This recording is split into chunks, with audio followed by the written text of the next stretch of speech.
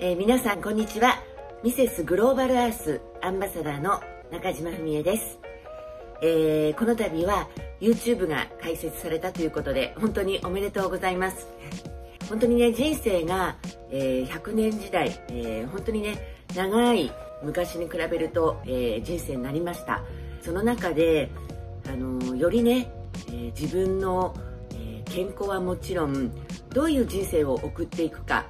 どういう自分が最後人生を終わらせていくかっていうこともねあのアンチエイジングの視点から最近すごく考えるようになってます。終わりよければ全てよしではないですけどもやはりこの自分がどう生きていくかっていうことがあの結果として出てくると思うので今この SDGs がねかなり意識高くなって皆さんの中でも、え自然のね環境についてすごくまあ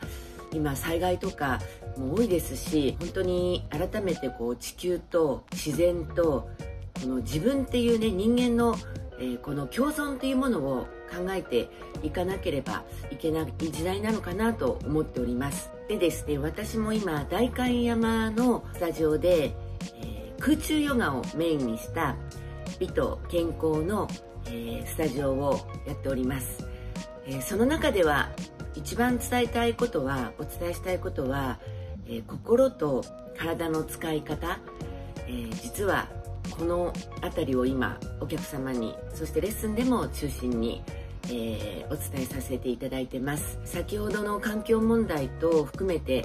え私たちの心の使い方とかやっぱり体の使い方ってすごく大事なとこだと思うんですよね。そんなところもまた皆さんとお話しできる機会がねあることを楽しみにしています。えー、うちのチョコマルと申します。よろしくお願いします、